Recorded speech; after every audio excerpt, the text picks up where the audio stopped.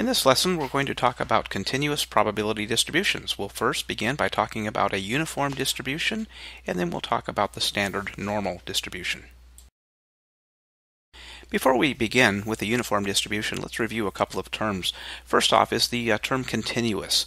Remember that continuous can be any value within uh, a certain range of values, which compares to discrete. And remember, discrete was simply when we're counting things which would be typically a whole number. So continuous can be any value. The other thing we need to review when we're talking about a uniform distribution is the basic way that we compute the area of a rectangle. And you might remember that back in your geometry days to, to compute an area, the area of a rectangle, you just simply take the length times the width. And that's going to be very important as we're figuring out the probabilities within a uniform distribution. Uniform distribution means that every value between a and b, as you see in the rectangle, has an equal probability. Remember, we compute the area of the rectangle by uh, the length times the width here. The other thing to realize is that 100% or all possible outcomes are going to fit within that rectangle. So the next thing we're going to do after we have the length of A and B, we're going to figure out what the probability of any value in that continuous uniform distribution is going to be. And the probability is simply going to be 1 divided by b minus a. And that will make more sense as we go into some other slides and show you some examples here. So here we have an example of a uniform distribution. We're going to develop this example in, in, in some upcoming slides, but let's just show you very quickly how we uh, determine the probability for each possible outcome. So in this case we have some wait times and uh, as the example is going to show us here it's the wait times that uh, students are waiting for a bus and that wait time can be between 0 and 30 minutes. So we have again um, if we're looking at the probability, the way we're going to compute that is 1 divided by b minus a. So 30 minus 0 is 30. 1 divided by 30 is 0.333.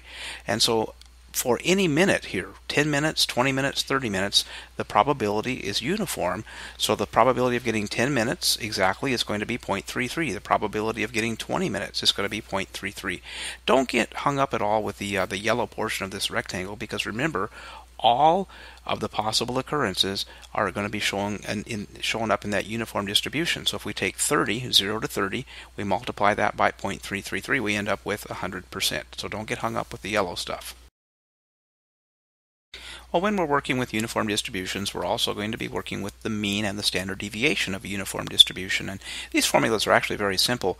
Uh, if you take a look at the mean formula, the mean formula is simply a plus b divided by 2 and 2 is just a constant that we use in, uh, in computing the mean.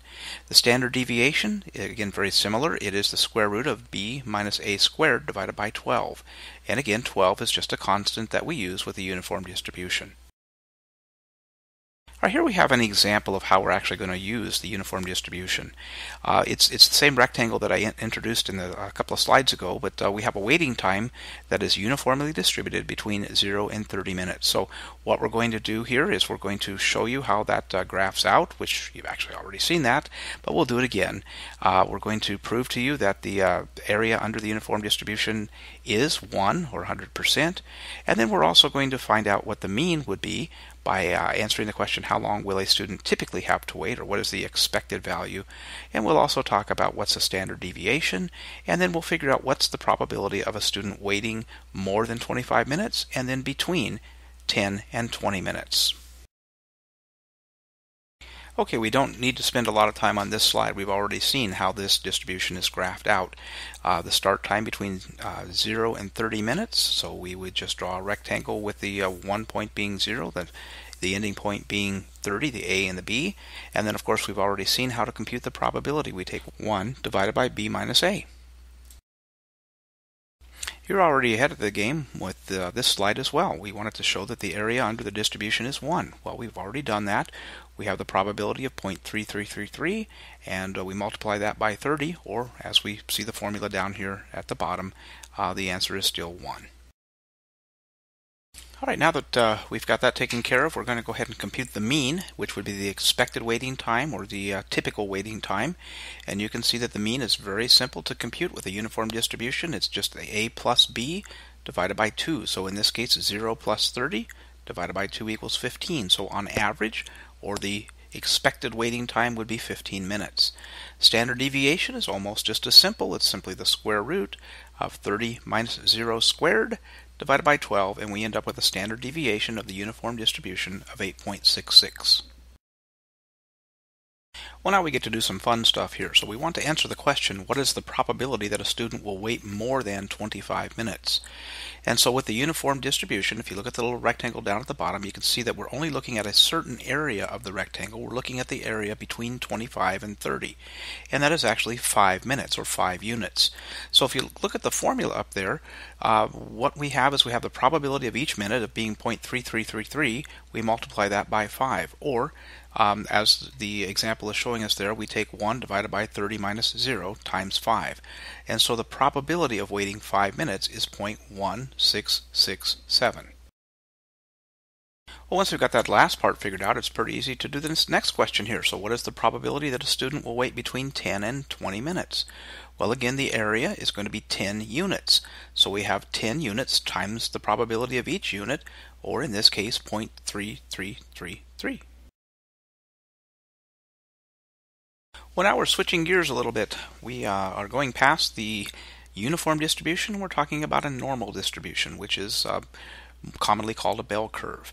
Now, in a perfectly normal symmetrical distribution, each half is identical, as this slide tells us. Also, in a perfectly normal distribution, the mean, the median, the mode are all equal. And in theory, uh, the tails never touch. Uh, they extend to infinity because there could always be somebody that has one higher value or one lower value.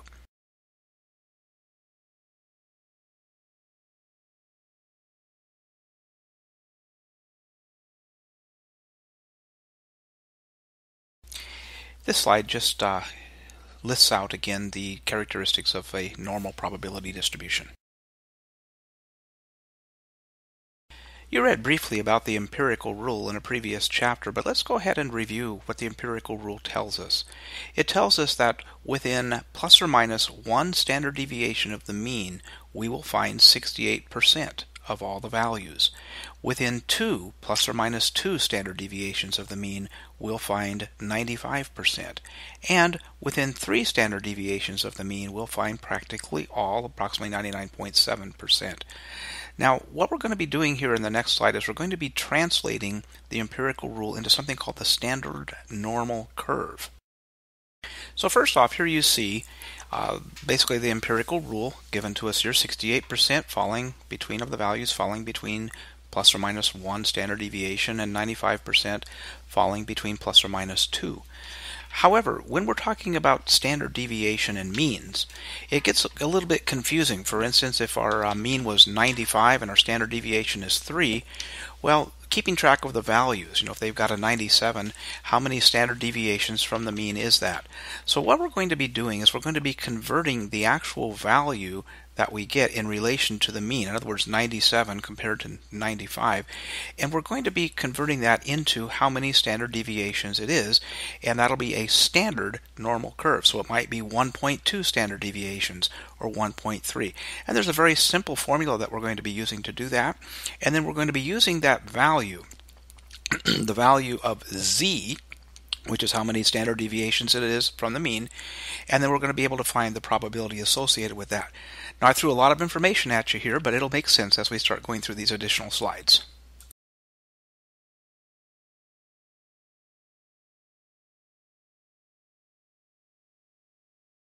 Alright, so the z-value is going to tell us how many standard deviations the value that we're comparing to the mean deviates. In other words, 1.2, 1.5, 2, whatever it happens to be.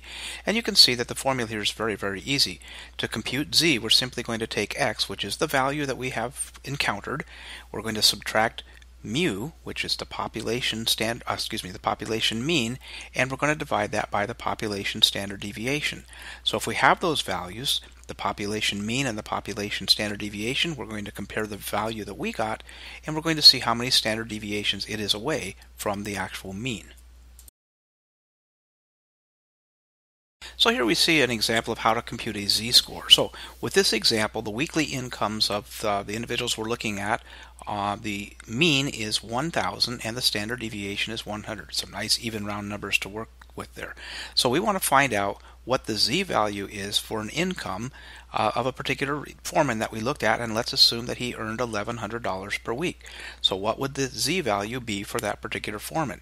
So the x value looking at the formula up here at the top the x value that we encountered is 1100 the population mean was 1000 and the population standard deviation was 100 so running through that little formula we end up with a z score of exactly 1 Similarly, if we found a foreman who made $900, uh, in this case we would have a negative 1. That means it is one standard deviation lower than the mean, and of course the positive 1 would be one standard deviation higher than the mean. So the formula simply is x minus mu divided by sigma or standard deviation. After computing a z-score, the next thing we want to do is find out how much of the area um, the the range, so to speak, between the 1000 and the 1100 actually takes up of the curve. We call that the probability. And remember that 100% uh, of uh, all of the possible values occur under this curve, but what's the probability of getting those values? And you can see just looking at the little chart here that it uh, takes up one standard deviation. And if you remember the empirical rule, remember that plus or minus one standard deviation was 68%, we probably have a good idea of what uh, the probability actually is. But let's go ahead and show you in the next slide how we could actually compute that or look it up in a table. Now your textbook is very likely going to have a, a uh, normal distribution uh, table um, with the textbook that I'm particularly using with this class, it's actually found on the very, very back cover. It's also found in Appendix B1 in this particular textbook. But once you've found that table, uh, this is kind of what it looks like when you look at the slide here. You have a z value, and we computed exactly z equals 1.0. So we don't have to go over into the 1.1, 1.2, 1.3 columns. You know, if we had a z of 1.2 or 1.3, we would. But once we've got the 1.0, we notice that the probability is 0.3413. You multiply that by 2, and you end up with 68%, or pretty close to that. So plus or minus one standard deviation would give us 68% of the values. As you probably guessed, you can also uh, use Excel to give you what the probability would be instead of having to look it up in the table. And here you see an example of the Excel 2010 norm.dist function. We just pop in the values for x, the mean, and the standard deviation, and we do have to put in the cumulative of 1. And when we do that, that actually gives us a slightly different value. And if you look down at the, uh, the, the actual distribution, the bell-shaped curve down at the bottom left, you'll see that it does compute 0.84. That's because it's computing it all the way from essentially 0 to the one standard deviation plus one. So you'd have to subtract 0.5 uh, from the answer that Excel gives you to actually get that probability. Now just for comparison's sake here, let's say that we computed a z of 1.5. Well, looking up 1.5 in the uh, normal probability table, we would end up with 0.332. All right, so here's another way to look at this. Let's go back to our uh, construction worker example with the foreman. So remember we have a mean of 1000 and a standard deviation of 100. So we're going to ask the question here, what is the probability of selecting a foreman at random oh, in the glass factory whose income is between 790 and 1000? So in this case, the first thing we're going to do is we're going to compute the z. So we have um, x minus mu, or 790 minus 1000, divided by the standard deviation, which is 100. So in this case, we end up with a negative 210. So if we were to look up minus 2.1 in the z, uh, z table, we would end up with 4821, as we see here in the chart below. This slide just confirms that uh, that is the indeed the value that we'll end up with with uh, 2.20. The probability is 0.4861. All right, let's go a little further with that. So in this case, we're using that same example with the, uh, the foreman in the glass factory. So we want to find out what is the probability or what is the area under the curve between 840 and 1200. Well, to do this, we're going to have to compute two different z values. The first one for 840, as you can see at the first part of the formula there, comes out to a negative 1.6 for the z-score. The 1200 comes out to the exactly 2.0. So in this case, looking at the, uh, the, the bell-shaped curve that you see down at the bottom, we have between 1.6 negative and 2.0. So we'd have to look up two z-scores and then we'll add them together. And we do that because we always know that each half of the curve is exactly 0.5. This slide is just confirming that that is indeed the probabilities associated with the 1.6 and the 2.0 z-scores. All right, let's go a little further. This is a little harder example. We're taking those same individuals, but this time we want to know what is the probability or the area under the curve that falls between 1150 and 1250. So once again, we'll have to compute two z-scores, one for 1150 and one for 1250, and then we're going to have to look up the probabilities for each of those and then subtract one from the other. And we'll see that in the next slide. Alright, so here we look up the two probabilities. Uh, the probability for 2.5 is 0.4938, as you can see in the chart there. The probability with the z-score of 1.5 is 0.4332. We subtract those together, and you see the formula and actually how it's done in the graph, and we end up with a probability of having between those two ranges of 0.0606. Here's an example of how we might actually use z in a real life business example. We're actually going to need to solve for two values. We're going to need to solve the z and also x. But let's go ahead and look at the example here. So a Tire and Rubber Company uh, reveals that the mean mileage is 67.9 and the standard deviation is 2050. Again, very important values for uh, computing z-scores.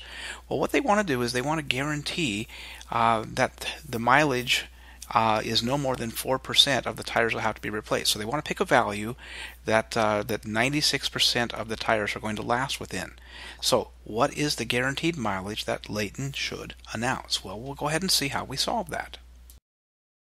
So what we're really trying to solve here is x. You know, what is the x value or the value that we should guarantee so that no more than 4% of the tires will have to be replaced. So again, we have the population mean of 67.9, the standard deviation of 2050. So we'll have to use some basic algebra and see if we can solve that. But the first thing we're going to have to do is figure out what the z value is because that's the other thing that we need in order to solve for x.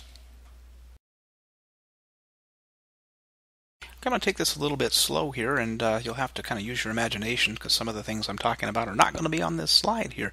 But remember that with each half of the curve, there is exactly 0.5.